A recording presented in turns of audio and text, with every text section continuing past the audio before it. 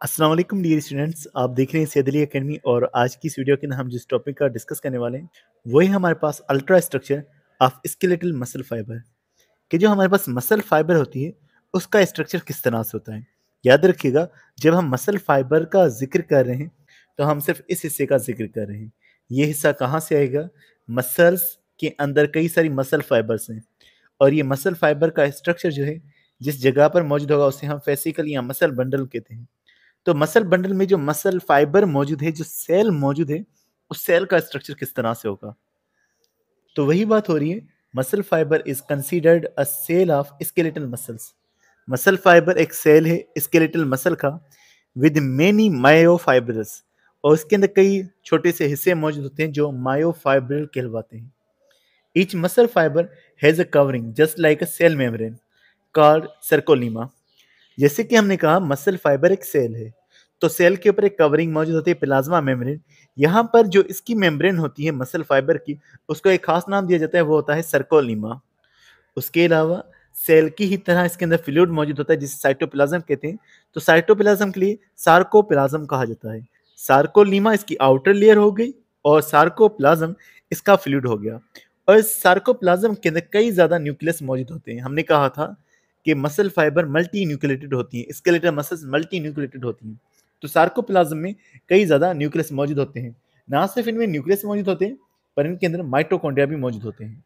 यहाँ बुक के अंदर गलती की गई है, वो गलती ये की गई है कि मायोफाइब्रल का लिखा हुआ है, जो कि न्यूरॉन के साथ कनेक्टेड होता है। लेकिन दरअसल मायोफाइब्रल नहीं, बल्कि मसल फाइबर जो होती है, वो न्यूरॉन के साथ कनेक्टेड होती है। तो मायोफाइबर की जगह मसल फाइबर आ जाएगा। Each muscle fibre is connected with the axon of motor neuron neuron की तीन किस्में होती हैं। एक को मोटर न्यूरॉन कहा जाता है। मोटर न्यूरॉन जो होगा, वो दिमाग में से हरकत कराने के लिए मसल्स को मूव कराने के लिए पैगाम लेकर आएगा। तो मोटर न्यूरॉन जो है, उसके भी हिस्से होते हैं, जैसे उसका एक लंबा सा पार्ट होता है, उसे एक्सोन कहा जाता है। तो एक्सोन के साथ ये कनेक्टेड होती हैं मसल फाइबर और जिस जगह पर कनेक्ट होती है, उसे न्यूरो मस्कुलर जंक्शन कहा जाता है। अगर हम बुक के अंदर देखेंगे तो बुक के अंदर जैसे कि हम देखेंगे तो यहाँ पर जो चीज़ मौजूद है, ये लेयर जो मौजूद है दिस इज़ सर्कोलीमा और सार्कोलीमा के साथ आप देख रहे हैं कि एग्जोन का आखिरी हिस्सा इसके साथ कनेक्टेड है। एग्जोन टर्मिनल हम कह रहे हैं टर्मिनल मतलब आखिरी। तो जिस जगह पर ये कनेक्टेड होगा, उस जगह को हम लोग कहेंगे न्यूरो मस्कुलर जंक्शन न्यूरो जो है न्यूरॉन को ज़ाहिर कर रहा है मस्कुलर मसल्स को ज़ाहिर कर रहा है। मसल्स और न्यूरॉन्स का आपस में जुड़ा रहना। इस तस्वीर के अंदर भी आप न्यूरो मस्कुलर जंक्शन को देख सकते हैं कि ये जो एक्सोन का पार्ट है लास्ट वाला पार्ट ये इसकी सार्कोलीमा के साथ जुड़ा हुआ है। आप देख रहे हैं, लिखा हुआ है एक्सोन टर्मिनल और ये एक्सोन टर्मिनल किस हिस्से के साथ जुड़ा हुआ है? इस तस्वीर के अंदर आगे डिटेल के अंदर मौजूद है। कि आपको नज़र आ रहा है कि जो सार्कोलीमा है, सार्कोलीमा का जो स्ट्रक्चर है, ये आउटर लेयर सार्कोलीमा का स्ट्रक्चर इसके साथ कनेक्टेड है। लेकिन ये ध्यान रखिएगा, सार्कोलीमा इस एक्सोन को जोड़ने के लिए अपने आप को अंदर की तरफ़ फोल्ड करती है। अपने आप को अंदर की तरफ़ फोल्ड करेगी और इस हिस्से को जो है मोटर एंड प्लेट कहा जाता है। तो लिखा हुआ है, sarcolemma is extensively folded a motor end plate उसके अलावा दूसरा लिखा हुआ है the sarcolemma permit calcium ions to enter or leave myofibre from their specific protein gateway अब सार्कोलीमा जैसे कि हमें मालूम है कि एक मेम्ब्रेन है तो सार्कोलीमा एक मेम्ब्रेन है और उसके पास कुछ प्रोटीन के मॉलिक्यूल्स मौजूद होते हैं। ये प्रोटीन के जो गेटवेज हैं, ये जो प्रोटीन मौजूद हैं, जैसे आपको मालूम है फास्फोलिपिड की अगर लेयर होती है, उसमें भी ऐसे प्रोटीन के मॉलिक्यूल्स मौजूद होते हैं। इन प्रोटीन को चैनल प्रोटीन कहते हैं, जिसके बीच के रास्ते में से मॉलिक्यूल्स अंदर दाखिल हो सकते हैं। मजीद आगे लिखा हुआ है कि सार्कोप्लाज्म में और कौन सी चीज़ें हैं? माइटोकॉन्ड्रिया और न्यूक्लियस के अलावा तो लिखा हुआ within the sarcoplasm a membranous network is present that run parallel to the myofibril called sarcoplasmic reticulum. इस हिस्से के अंदर सार्कोप्लाज्म के अंदर, यानी कि मसल के साइटोप्लाज्म के अंदर जो एंडोप्लाज्मिक रेटिकुलम मौजूद है स्मूथ एंडोप्लाज्मिक रेटिकुलम उसे सार्कोप्लाज्मिक रेटिकुलम कहा जाता है। और ये सीधा सीधा जाएगा मायोफाइबर अगर सीधी सीधी ट्रेवल कर रही तो ये उनके साथ साथ जो है जा रहा होता है। और इसका काम क्या होगा? लिखा हुआ it is storage house of calcium ions use in muscle contraction हमने स्मूथ एंडोप्लाज्मिक रेटिकुलम का कहा था कि वो कैल्शियम को स्टोर करता है। दरअसल स्मूथ एंडोप्लाज्मिक रेटिकुलम के अंदर सार्कोप्लाज्म रेटिकुलम जो है, ये कैल्शियम को स्टोर करता है, जो कि हमारे मसल्स में मौजूद है। फिर कैल्शियम के आने से हमारे मसल्स जो है वो कॉन्ट्रैक्ट होते हैं आगे चल करके इस तस्वीर में जो स्ट्रक्चर है वो सार्कोलीमा का आउटर कवरिंग मौजूद है, जिसको खोल करके दिखाया हुआ है। उसके अलावा इसका फ्लूड सार्कोप्लाज्म फिर इसमें से एक मायोफाइबर बाहर निकाली हुई लेकिन सार्कोप्लाज्म के अंदर माइटोकॉन्ड्रिया भी मौजूद है। उसके अलावा आप यहाँ पर कुछ ट्यूब्स देख रहे हैं जो कि इन्होंने ब्लू कलर से ज़ाहिर की हुई हैं। ये जो ब्लू कलर की ट्यूब्स हैं, जो कि सीधी डायरेक्शन में जा रहे हैं, जैसे कि ये मायोफाइब्रल जा रहा है इन ट्यूब्स को हम लोग कह रहे होते हैं सार्कोप्लाज्मिक रेटिकुलम तो ये सार्कोप्लाज्म रेटिकुलम को देख सकते हैं आप लोग, जो कि सीधा उसी रास्ते से जा रहा होता है, जहाँ से मायोफाइब्रल जा रहा होता है। आप देख रहे हैं, ये मायोफाइब्रिल इसी के साथ साथ ये हिस्सा जुड़ा हुआ है इनका सार्कोप्लाज्मिक रेटिकुलम का, जो कैल्शियम को स्टोर करने का काम करेंगे। उसके अलावा मजीद एक और चीज़ लिखी हुई है कि इट एक्सटेंड्स इनवर्ड जो सार्कोलीमा है, वो अंदर की तरफ़ भी बढ़ती है। और सार्कोलीमा जब अंदर की तरफ़ बढ़ती है तो ये एक चैनल एक रास्ता बनाती है जिसको टी ट्यूबल्स कहा जाता है। ये टी ट्यूबल्स परपेंडिकुलर डायरेक्शन में मूव करती हैं और जाकर के सार्कोप्लाज्मिक रेटिकुलम के साथ कनेक्टेड हो जाती हैं। इसी तस्वीर को देखेंगे तो ये ग्रीन हमारे पास कुछ स्ट्रक्चर्स मौजूद हैं। ये जो ग्रीन स्ट्रक्चर्स हमें नज़र आ रहे हैं परपेंडिकुलर डायरेक्शन में, जो पैरेलल नहीं है परपेंडिकुलर यानी अपोजिट डायरेक्शन में आ रहे हैं, और ये निकलते हैं सार्कोलीमा में से। जो कनेक्ट हो रहे हैं हमारे पास, इसी स्ट्रक्चर के साथ में, जो कि सार्कोप्लाज्मिक रेटिकुलम का स्ट्रक्चर है। तो एक मेम्ब्रेन की बनी हुई ट्यूब्स जो सार्कोलिमा से निकलती हैं और कनेक्ट होती हैं सार्कोप्लाज्मिक रेटिकुलम से, इन्हें जो है टी ट्यूबल्स कहा जाता है। तो ये हमारे पास एक बेसिक सा स्ट्रक्चर था जो कि मसल फाइबर का था, कि मसल फाइबर जुड़ा हुआ है न्यूरॉन के साथ में और उसके अलावा इसके अंदर कुछ ऑर्गेनेल्स मौजूद हैं, जैसे न्यूक्लियस मौजूद है सार्कोप्लाज्मिक रेटिकुलम है माइटोकॉन्ड्रिया मौजूद है माइटोकॉन्ड्रिया एनर्जी के लिए। सार्कोप्लाज्मिक रेटिकुलम जो है, वो इसके अंदर मौजूद है, कैल्शियम को स्टोर करने के लिए, बाकी न्यूक्लियस तो कंट्रोल करने के लिए मौजूद होगा। और उसके अलावा मजीद बात करेंगे, सार्कोप्लाज्म मौजूद है, न्यूरॉन्स कनेक्ट हो रहे हैं सार्कोलीमा के साथ में, और जहाँ ये कनेक्ट हो रहे हैं, वहाँ से वो सार्कोलीमा इन्वर्ट अंदर की तरफ़ मुड़ रही है। तो और उसके अलावा इसके अंदर मायोफाइब्रस छोटे से कुछ स्ट्रक्चर्स मौजूद हैं। अब हम इन्हीं मायोफाइब्रस के स्ट्रक्चर्स को ज़िक्र करते हैं। तो लिखा हुआ है myofibre content two kind of protein दो प्रोटीन इसमें मौजूद हैं, और प्रोटीन की फिलामेंट्स यानी प्रोटीन की बड़ी सी कतारें मौजूद हैं। कौन से प्रोटीन मौजूद हैं इसके अंदर? एक प्रोटीन जिसका नाम है एक्टिन और दूसरा प्रोटीन जिसका नाम है मायोसिन। अगर हम बात करेंगे मायोसिन प्रोटीन के बारे में तो मायोसिन थिक होता है, ज़्यादा मोटा मायोसिन होता है। और ये मायोसिन कितना बड़ा हो सकता है डायमीटर के अंदर, ये 16 नैनोमीटर डायमीटर में बड़ा होगा। और इसके अंदर मायोसिन मोनोमर्स मौजूद होंगे। मायोसिन मोनोमर का मतलब ये है कि एक ये मायोसिन का प्रोटीन है, दूसरा ये मायोसिन का प्रोटीन, तीसरा ये। ये मायोसिन के प्रोटीन मिलकर के जो कि फिलामेंट बनाएँगे, वो होगी मायोसिन फिलामेंट। और इसके अलावा बात करेंगे तो ये मायोसिन फिलामेंट जो है, इसके अंदर दो स्ट्रेंड्स होती हैं, दो कतार होती हैं। मिसाल हम इसको एक कतार काउंट करें तो एक और कतार इसके साथ ट्विस्टेड होगी। दो ट्विस्टेड कतारें आपस में लपेटी हुई होती हैं और ये हमारे पास मायोसिन की फिलामेंट बनती है।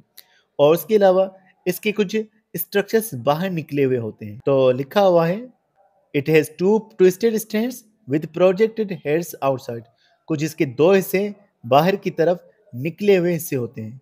और इनका काम होता है एक्टिन फिलामेंट के साथ कनेक्ट होने का। एक्टिन की बात करें तो थिन होती है, सेवन टू एट नैनोमीटर का डायमीटर है। याद रखिएगा कि मायोसिन का डायमीटर सिक्सटीन नैनोमीटर है और एक्टिन का डायमीटर सोलह नैनोमीटर है। ये भी डबल स्टैंडर्ड है, दो कतारों वाली ट्विस्टेड है और इसके अंदर मोनोमर्स मौजूद हैं एक्टिन के।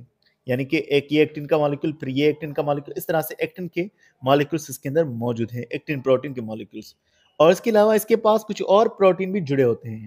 एक्टिन के साथ जो प्रोटीन जुड़े हैं वो है ट्रोपोनिन और ट्रोपोमायोसिन। मजी लिखा हुआ है each actin monomer have a binding site for myosin cross bridges for attachment हमने कहा था कि मायोसिन के जो उभरे हुए हिस्से होते हैं, उन्हें क्रॉस ब्रिजेस कहा जाता है मायोसिन हेड कहा जाता है, और ये मायोसिन हेड जो है एक्टिन के साथ जुड़ सकते हैं। तो एक्टिन के मोनोमर्स के पास मायोसिन को जोड़ने के लिए जो है बाइंडिंग साइट मौजूद होती है, जहाँ पर एक्टिन के साथ मायोसिन जुड़ेगा। इस तस्वीर के अंदर आप देखेंगे दो मायोसिन की कतारें मौजूद हैं, जो आपस में ट्विस्टेड होती हैं, और उसके अलावा आप देखेंगे दो हेड्स मौजूद हैं। तो ये मायोसिन के हेड्स जो हैं, ये बाहर निकल रहे होते हैं, प्रोजेक्ट आउट हो रहे होते हैं, और ये मायोसिन के हेड जो हैं, ये एक्टिन के साथ में कनेक्ट होते हैं। इस तस्वीर में भी आपको एक्टिन की ये दो फिलामेंट्स नज़र आ रही हैं।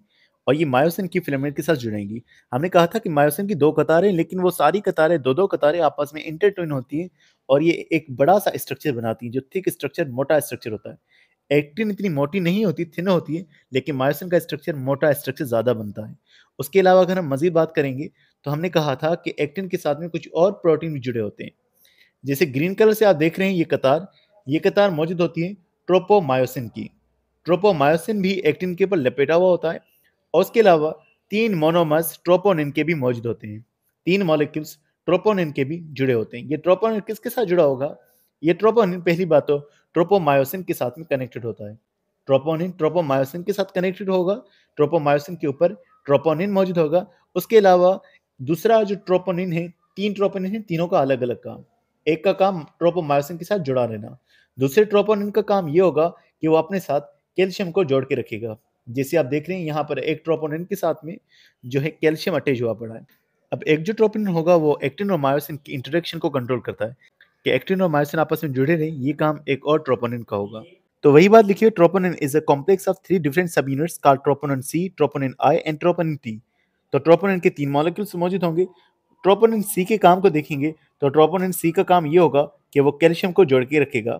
ट्रोपोनिन आई का काम ये होगा कि वो एक्टिन मायोसिन की इंटरेक्शन को रोके रखेगा।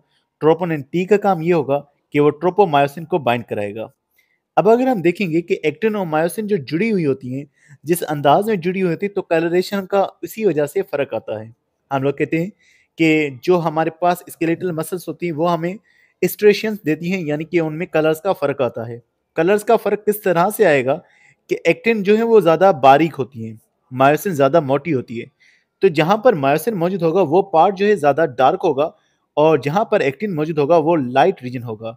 अगर इनकी अरेंजमेंट को देखेंगे तो पहले एक हिस्सा जहाँ पर एक्टिन मौजूद है, वो लाइट रीजन जहाँ एक्टिन और मायोसिन दोनों मौजूद है, वो डार्क रीजन फिर बीच वाला हल्का लाइट और फिर इसी तरह से डार्क और फिर लाइट तो ये हमें मुख्तलिफ़ डार्क और लाइट रीजन देखने को मिलेंगे, जिनको हम डार्क बैंड या लाइट बैंड या डार्क स्टेशन या लाइट स्टेशन कहते हैं।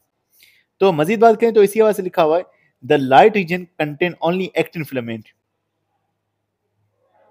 light region के अंदर सिर्फ़ एक्टिन फिलामेंट मौजूद होता है। इस लाइट रीजन को दूसरा आई बैंड यानी आइसोट्रोपिक बैंड भी कहा जाता है। आगे लिखा हुआ the dark region contain thick myosin filaments overlapping thin actin filaments called A band और एन आइसोट्रोपिक बैंड हमारे पास जो बीच वाला रीजन हमने जैसे कहा मौजूद है, जहाँ पर मौजूद है हमारे पास मायोसिन फिलामेंट्स और इनकी ओवरलैप यानी कि इनकी दोनों साइड्स पर मौजूद है हमारे पास एक्टिन फिलामेंट तो वो पार्ट जहाँ पर एक्टिन और मायोसिन दोनों साथ में मौजूद हैं एक्टिन भी मायोसिन भी ये साथ में मौजूद है, इस हिस्से को, इस रीजन को एन आइसोट्रोपिक या एन बेंड कहा जाएगा। मजीद आगे लिखा हुआ है the myosin filaments are connected by M line or disc line myosin filament के बीच में जो लाइन मौजूद है, उसे एम लाइन कहा जाता है, जो कि यहाँ पर ये मौजूद है।